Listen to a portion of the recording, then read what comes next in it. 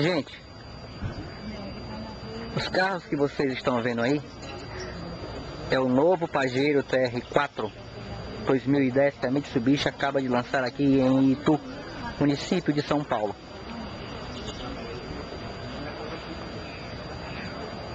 O carro ganhou linhas mais arredondadas em comparação à versão anterior.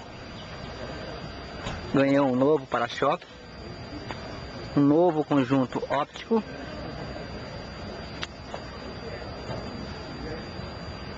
outra mudança também aconteceu no aro, que na versão anterior era 16, agora é 17 polegadas. Ganhou a nova entrada de ar que fica na lateral do carro, como vocês percebem aí.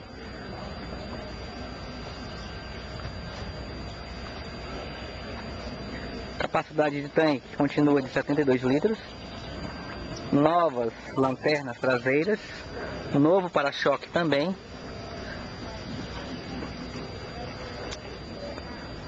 Novo spoiler.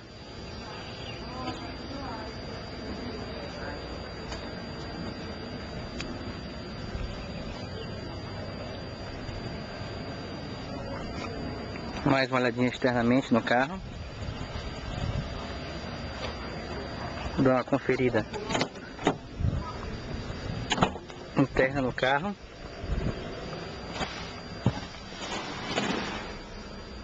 Novo grafismo no painel. Nova direção também.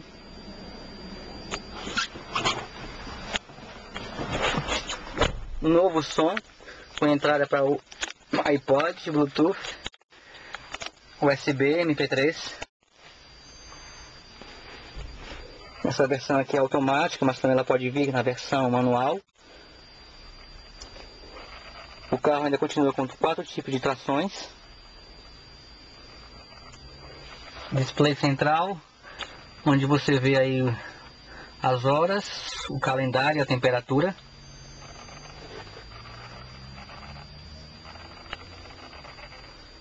detalhes internos, portas trecos,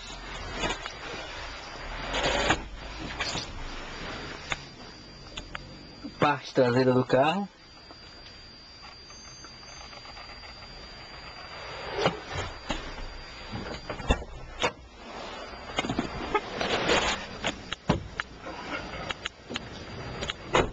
inclusive seu bagageiro tem a capacidade de 500 litros. O motor mudou. Ele é 2.0, mas o que mudou mesmo foi a capacidade de cavalos. Como ele é flex, abastecido a gasolina, ele faz 185 cavalos de potência. Abastecido com álcool, ele chega a ter 140 cavalos. Vocês querem saber do preço? Leia mais no caderno automóvel desta quarta-feira.